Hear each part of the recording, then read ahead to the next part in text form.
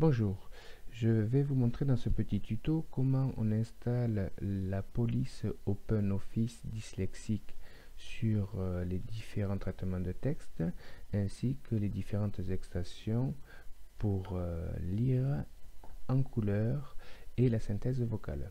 Voilà, donc la première chose pour installer OpenOffice voilà, donc vous téléchargez sur internet les polices 10, ce sont des fichiers, d'accord? Vous les ouvrez, on copie tout, voilà, et je vais l'installer dans paramètres, les paramètres de l'ordinateur. Tapez police, recherche, et vous avez le dossier police. À ce moment-là, vous faites euh, CTRL V, copier, coller, donc, et je vais avoir toutes mes polices qui apparaissent ici. Voilà. Donc là, elles sont installées dans l'ordinateur. Vous pourrez les utiliser avec Word, OpenOffice ou tout traitement de texte. Maintenant, je vous montre comment on installe les extensions. Donc vous allez dans Outils, Gestionnaire des extensions, et soit vous les prenez sur Internet en ligne, ici, soit vous les ajoutez à partir d'un dossier ou d'une clé USB. Donc moi je les ai sur clé USB, elles sont là, c'est lire couleur et Picosvox OOO. Voilà.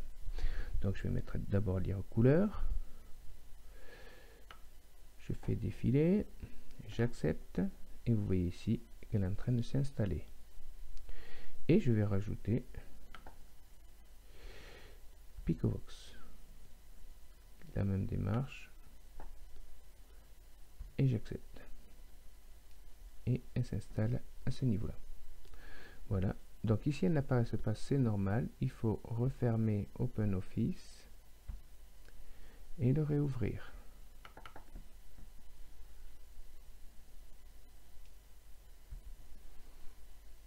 Voilà, donc ici on a la synthèse vocale, Pico, et ici lire couleur.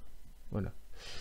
Donc vous voyez, en deux clics, vous êtes prêt à adapter tous les documents euh, écrits pour les élèves en situation de handicap ou dyslexique. Je vous dis à bientôt pour prochain. Voilà. Ça, c'est une fonction qui euh, permet donc euh, aussi euh, à l'élève de s'entendre quand il écrit. Voilà, c'est activer la lecture en cours de frappe. Donc, je répète, je vous dis à bientôt pour un prochain tuto. je vous dis à bientôt pour un prochain tuto.